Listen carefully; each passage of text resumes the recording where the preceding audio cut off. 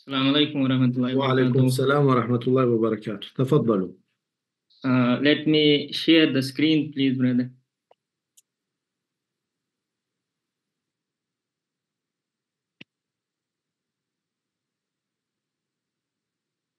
Uh, is this uh, visible, my screen?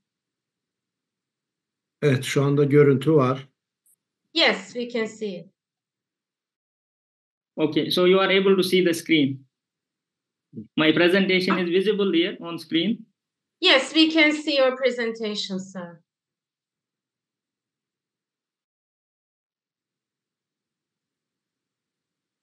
Uh, Brother Ali, my uh, presentation is visible on the screen. Ye- ye- yes, yes, doc- Dr. Aijaz. Oh, okay, okay, thank, Thank you. you. Thank you. So welcome. let me start. Uh, Rahim. Uh, first of all, I would like to thank you all for this uh, good uh, opportunity to present my this paper. So I will try to conclude in 15 minutes, inshallah. Uh, so the topic today uh, is the Islamic economic governance and justice, joint justice system challenge, challenges and opportunity for the Islamic Union. So in this in this presentation, uh, I will cover the the outline will be uh, the first part will be the principles of Islamic economic governance, uh, which includes the social responsibility, Sharia compliance finance, and ethical business practices. Because for such a topic, it is very important to let us know first the basic ethics of the financial and uh, economic and governance structure in Islamic Union. So later on, uh, the second session will be overview of the joint justice system. Third will be overview of the Islamic governance and legal framework. Then challenges and opportunities, and uh, this will be the final. And after that, we will come towards the economical stability and resilience. How the Islamic economic system and joint justice system will take us to that uh, point.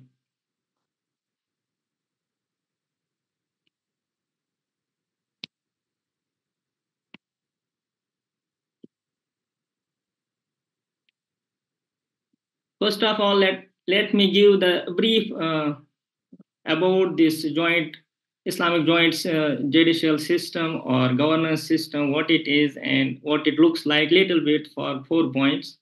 The Islamic Union, which represents a collective efforts of Muslim nations, which will promote the unity, cooperation, and share values together. As its member, they will be together to facilitate uh, each other for the justice, fairness, and economic transactions, which will be on that principle. All the economic transactions uh, will be on the justice, fairness, and economic uh, and fairness. So, in this uh, system, Islamic economic governance uh, deeply roots in the principle of teachings of Islam, emphasizes justice, fairness, and ethical conducted in Islamic economic activities. This system is not merely an economic model, however, we see that it comprises all the way of life, which is social, political, and economical aspects. The economic union seeks to unite the Muslim world. So the economic, the Islamic Union, which we are talking today, uh, in the real sense, it doesn't exist till now. But uh, a lot of things has been done from previously. It has been tried to get in the play, but till now it is still in the development. So what this union uh, like to do by the unity of unity of the Muslim world, they like it to be under a single economic, political, and social system.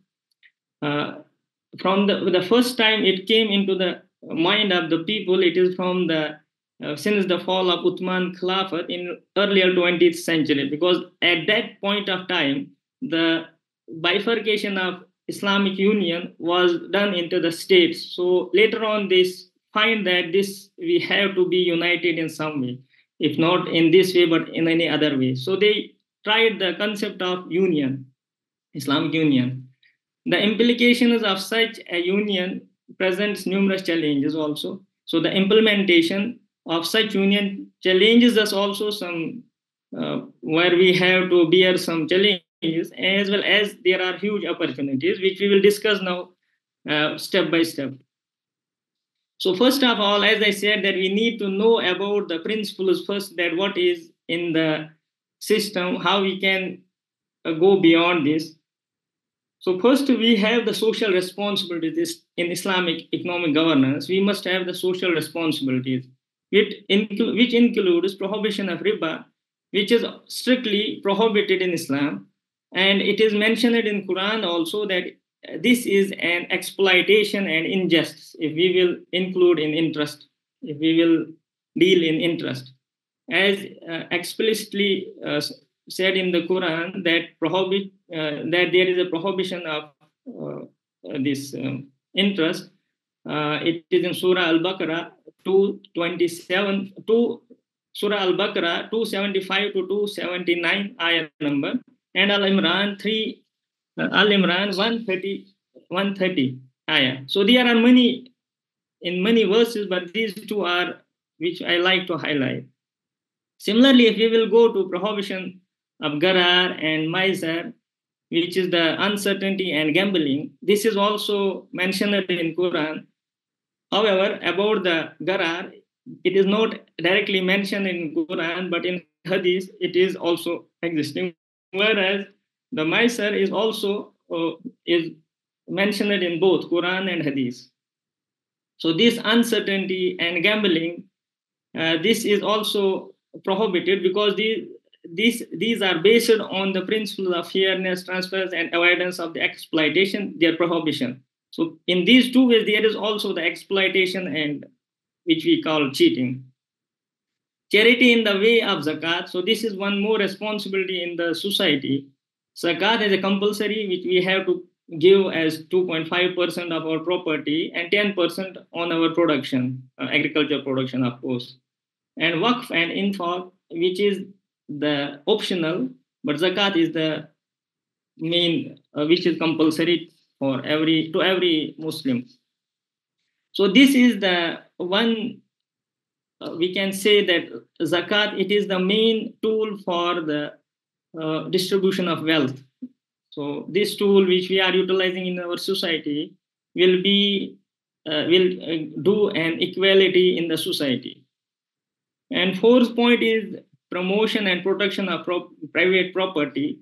So if you will see that uh, this is the concept that where we, we which we got from the quran directly as the as we all know that wealth belongs to allah everything on this world or in anywhere in the universe belongs to allah.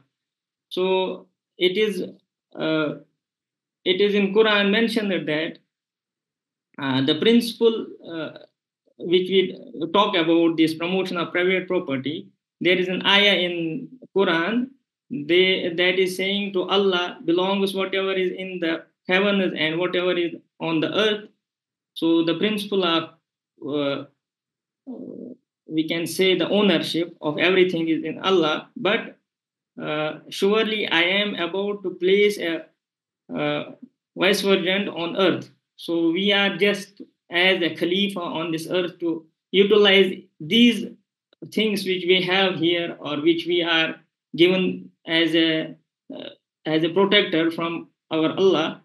So we have to utilize it in a given way, in that way that we can give it back to the society as we had been uh, expected to work on it. And fourth one, fifth one is ethical and moral values, which includes tawheed, taqwa, justice and fairness, honesty and trust, trustfulness, compassion and kindness, uh, respect, tolerance, humility, etc. These are the self-explanatory words. We don't need uh, more explanation.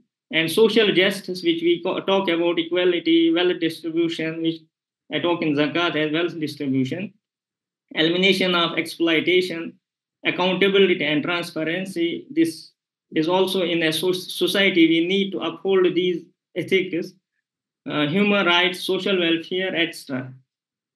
So let us go to the second point, Sharia compliance finance. So the one more point in this is that Sharia compliance finance, which will be a point, a part of uh, Islamic governance or justice system, because this includes in justice also financial justice. So first is prohibition of riba, riba, which we talk already about, gharar we talk already about, because this is the part which comes in different uh, segments of the society or of the um, financial as well as social as well as other parts of the life. So prohibition of haram activities, these are the activities which are prohibited in Islam, such as, as we talk, interest or uh, investments in uh, haram products, alcohol, gambling, or pork, etc., whichever is prohibited in Quran or Hadith. So we uh, we are prohibited for these activities in Sharia compliance finance. So if we will finance or invest, we are not allowed to invest these things. Promotion of social and uh, ethical, ethic, promotion of ethical and social responsibility in investment. So these investments which we have to promote are the uh, those uh, which uh, those investments which we need to transfer towards the responsible uh, social and ethical responsibilities such as as we talk about we have to give sadaqah we have to give charity we have to uh, invest in that things which will be uh, useful for the society such as education healthcare uh, transportation these things which we have uh, we have utilization in our society for the good. So we can give these things in the we can invest in these things which are good for society Third is risk sharing. If you will see the Islamic finance is based on risk and profit sharing.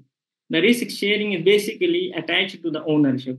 So till we don't have ownership, we cannot share a risk. Uh, similarly, we have the contracts in this real sector, such as mudaraba, musharaka, murabaha, and these are being developed through Islamic finance and Islamic economics. So financial real sector, financing real sector, we cannot finance to non-real sectors such as, which we say as uh, uh, financing which is not a real, in real sense, any product or any, which is, for example, gambling is also not a real sector. Or we can say that uh, financing in such certificates which are just in year financialization, which we say uh, of debt. So these financing or these investments we cannot finance in that.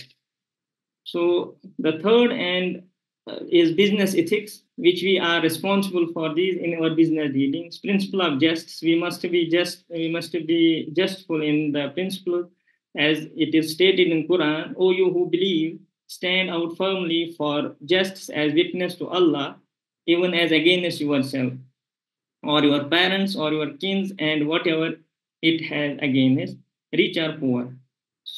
For allah can best protect both. So wherever there is just we have to stand for it. So in business ethics we are in the same thing. Principle of honesty and truthfulness. So in business dealings we it is 100% sure we need to be honest and truthfulness. We cannot deceive them. Uh, as we know it is a common term mutual consents we have to be any dealing with mutual consent consents we cannot have one side uh, decision in these avoidance of riba is same as uh, mentioned above. Risk sharing as mentioned above we have to share risk in every business dealing and mostly the risk is shared by ownership. Till you will not have ownership uh, you cannot share the risk. So wherever you will see the contracts many contracts till you will not own an asset you cannot have any dealing, business dealing on it. And second is prohibition of gharar uncertainty, which is also the same as mentioned above. So these were the three principles for the society, which we have to incur in the society to be why to be a viable society for this joint system. So now, if we will go to overview of the joint uh, justice system, uh, there are legal frameworks as uh, in this legal framework, a well-crafted legal framework uh, governs the justice system, guided justice uh, jurisdiction, and ensures principled administration through consistent uh, constitutional provinces, states, regulates, and international agenda agreements. So these are the, the legal frameworks which it must include uh, judicial institutions as the core of the joint justice system specialized institutions have to be uh, created, which includes the courts, tribunals, uh, meticulous just uh, system, which will meticulously judge the disputes and uphold the legal processes for this uh, whole joint system. Juris- jurisdiction is the third one. Uh, the joint justice system precise uh, jurisdiction description covers civil, criminal, administrative, and specialized legal dominance, uh, deeply addressed diverse complexity because there will be complex things because of the many countries together, many nations together, different political uh, uh, views. So this will be complex. We have to streamline streamline it. Uh, applicable laws. So in the joint system, we have to see any commonly applicable laws which will be applicable to all these nations, and this will be accepted by their economical or uh, ju- uh, ju- this uh, judicial systems. So we have to carve like such a uh, legal system in this dispute resolution system. So we have to create a dispute resolution system also in this, which will be uh, the mechanism including litigations, arbitration, mediation, and alternative methods for this, which focus on accessibility, fairness, and efficiency. These resu- resolutions prompting ex- uh, expedition outcome that are inherited uh, just. So we need to take care of this also if we are going to think about a joint justice system. Uh, then there is judicial independence. So in a joint judicial system, a foundational principle is that unwear commitment to the judicial independence. Judges are mandated to uh, um, enable impartiality, ensure freedom for external affairs. There must not be any political pressure or any other side of pressure. So it must be an independent judiciary system, which is a core value for any judiciary. So enforcing our decisions. So now there comes also the joint uh, justice system is committed to enforce its uh, decisions through robust mechanism involving the execution of the court orders, meticulous collection of fines, and effective realization of remedies. So these all together, they have to see how to enforce it in a different uh, nation, uh, which will be united in one judiciary system. Second is cooperation and coordination. There is a very high need of these things that cooperation and coordination must be between the nations the involvement tangible actions like information exchange uh, mutual uh, recognition or uh, judgment and cooperative efforts to training and research. So they have to give cooperation in this also. Some nations have highly equipped with uh, some one kind of research and information. And it will be sure they will it will benefit the ummah inshallah. And then comes the overview of Islamic governance and legal system. So if you will see the first will be Sharia governance. So Sharia governance is uh, ensures Islamic finance institutions adhere to principle through board of quality scholars scholars who are working rigorously on the scrutinization of products, upholding their standards, ethics to let it be uh, in line with the Sharia even though sometimes some products have or some contracts have little lacunas, but after all, lot of nobody is perfect. After a lot of research, they come to know they make that amendments. Uh, till now, Alhamdulillah, the Islamic financial system has reached to a good level. And second is the regulatory framework. If you will see the regulatory framework, this is also effective Islamic economic governance relies on the tailored regular framework addressing unique features like interest, prohibition, and profit sharing. Regulatory authorities formulate and enforce regulatory cover license, capital adequacy, risk management, disclosure, consumer protection. So these are the elements which the legal framework will handle in the joint governance and legal framework. And fourth, fourth is the this was the legal fourth is contractual framework. So in contractual framework they have to meticulously made contracts which will be acceptable in all nations. They have to work on it. The contracts must be aligned with uh, legal and Sharia uh, elements of all the nations which will be acceptable. So if we will come in the common goal, all nations, uh, Islamic nations will not have any uh, problem with the Sharia structured contracts such as Mudaraba, Musharaka, Ijara. All nations nowadays are accepting this in Islamic finance as well. So one more is dispute resolution mechanism. We have to have this dispute as I talked before in governance also. Uh, so legal framework also must have this dispute resolution. Consumer protection must be there. So the consumers must be protected. There must be a separate way to protect them. For example, regulatory framework which prioritize transparency, fair treatments, and robust dispute resolution mechanism. So this uh, kind of consumer protection will enhance the uh, treatment and readiness uh, will enhance the confidence in the Islamic finance, Islamic governance in the joint system. Then supervision and monitoring, of course, after everything is done, we need to have a supervision and monitoring for all transactions. Uh, to uh, with request resources and powers, these authority vigilantly access compliance with Sharia principles and regulations, ensuring sound and probatic in Islamic finance institutions for industrial resilience and credibility.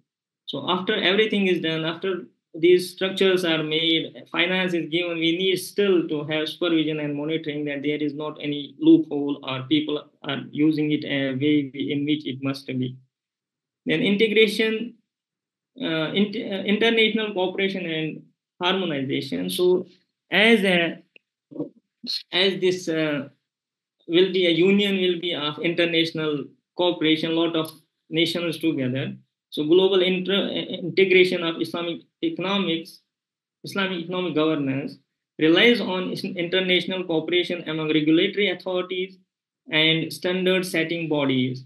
So collaborative efforts promotes consistency standards and mutual recognition of Islamic finance practices, fostering uh, credibility and facilitating cross-border transactions for global acceptance of Islamic financial principles. So this, when we have this kind of uh, cooperation and harmonization, that we can have cross-border transactions which are acceptable. There is no dispute in this, as per Islamic, uh, as per Sharia alliance. As we will see that, if we will see that Islamic finance is not only for Muslims, it is an ethical financing. If we will see in another way, so the ethical financing is not any problem for anyone. So it is for non-Muslims also. Now we will come to on challenges in the implementation of fair joint justice system and economic governance. So if you will see the first, uh, the lack of universal acceptance interpretation of Islamic economic principles. So what are the challenges now here that as we all know that there are different diverse interpretation of Islamic economic principles among scholars and judiciary jurisdictions may result in inconsistency. If you will see our madhab Hanafi, Shafi, Hanbali, they have some differences in interpretation of Islam, uh, economic or financial issues. So we have to streamline that. This will be one of the challenge to streamline and have this universally accepted to all Muslims in every madhab.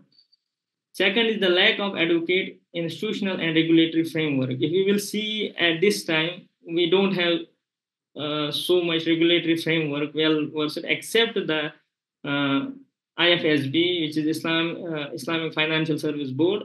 They guide. They are giving the guidelines for uh, implementation standards and strength to the financial ability of the Islamic finance. So we need to improve it more and give it more strength, or have additional institutions which will give as a back to this institution the lack of training professional trainers professionals in the field of Islamic economics. So there is still the lack of these professionals, even though there are universities who are teaching now Islamic economics, Islamic finance, uh, like in Qatar, in the big example in Turkey, we started in Turkey also, Qatar, Malaysia, UK. So now it started and it is going now day by day. Alhamdulillah, it is expanding. So there are some institutions which are giving this, and we need some corporate level also to give trainings and have more staff, more professional in this field, so that it will be done in ethical way. the lack of awareness and education seem that the corporate trainings as well as the trainings for our uh, clients or customers, whoever are, or any stake, stakeholder. So we need to distribute training or we need to give training or awareness programs to give awareness about the Islamic uh, system, Islamic economic system.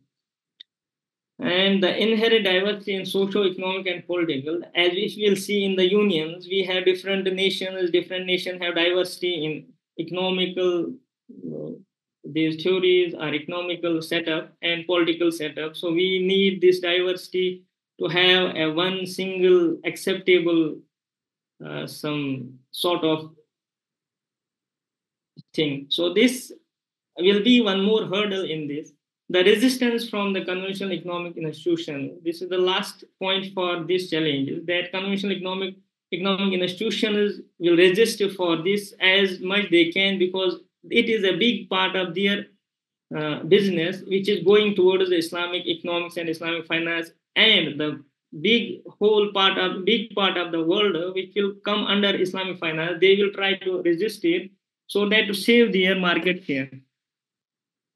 Now, this will be also in global challenges, what will be challenge in global integration. This we were talking about the Islamic nations. If we will integrate in it globally, there are three basic, three main challenges which will be that is prohibition of interest because many countries they don't bother about this, which are non-Muslim countries.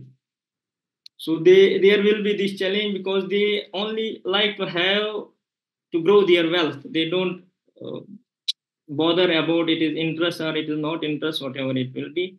So this will be challenged from non-Muslim countries. And the principle of risk sharing that most of the finance, conventional finance nowadays are not uh, ready to share the risk. Instead, they want to earn anyway, but they transfer the risk instead of sharing the risk. So they believe in transferring risk and be safe rather than sharing the risk. So this will be one more challenge in global integration the principle of social justice. Nowadays, uh, the social justice remain just a talk. If we will say the global economic system is often criticized for promoting inequality and exploitation, therefore implementing Islamic economic governance is a way that uphold social justice can be challenged in the context of global integrity because they talk about social justice, but they don't work on this in financial way or in economical way. Now, the last part is the opportunities for the Islamic Union in implementing a joint justice system and economic governance. If we will see the opportunities, we will harmonize the standards, the all standards which are having diversity. We can have a smooth and harmonized standards for all the countries of the Islamic Union, so that there will be a very smooth running of business or transactions, whatever will be. Enhance marketing integration. So the Islamic countries have a big part in the world. So if we will integrate our market, it will enhance uh, the economy of these countries. They will be not dependent on others so much because there will be a free trade system, free uh, transaction system, whatever will be in uh, regarding this economic system because it will be controlled as a whole one unit. And third is collaboration and cooperation in research and development. So these all countries will collaborate and make a, collaborate in research and development where there is one by one individually putting their efforts when it will be a collective effort it will be very successful and have great achievements we hope so inshallah uh, human capital development. So by these trainings and by sharing the information, we can have our human capital development. Also, some countries who which don't have the high standards of education, we can share the education system together. It will be as a whole one union, which will aspire to have some level of education. Şöyle iki dakikada toparlayabilirsiniz. Uh, sir, excuse me, you're requested to wrap in two minutes. On dakika, it will finish, inshallah. Sorry, uh, iki dakika, not uh, joint uh, investment project. So if we will have the investment project jointly, we don't need to uh, be dependent on international financial institutions such as World Bank or IMF to have a funding and then control our all systems, have some uh, restrictions in our economy. So when we will be together, we don't have to bother. So the joint investment projects will be a big leap in uh, this union.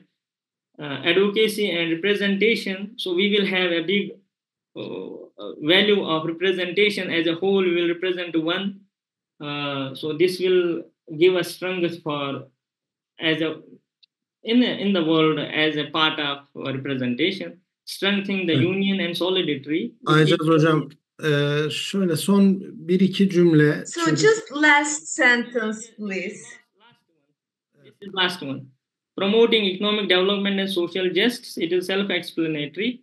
And then if we will see economic stability and uh, uh, resilience, we will see risk sharing and profit sharing. It will be resilient in the economy, stable in finance transactions, prudent risk management, emphasize on real economic activities, ethical and responsible investment, safe, steady nets. These points are giving the resilience to the economy, as we discussed above also this, and leverage to the vast resource, uh, natural resource as a whole. This big part of world, we will have natural resources which we can share together. Geographical divid- dividend and the strong tradition and trade and commerce. We will have a big trade routes, commerce, and we will have a big open market for each other. Emphasize on real uh, economic activities, significant potential for socio-economical development. So by integrating these all things, we can have a viable uh, Islamic union which will have the uh, economy and justice together as a union. Thank you and thanks for patience.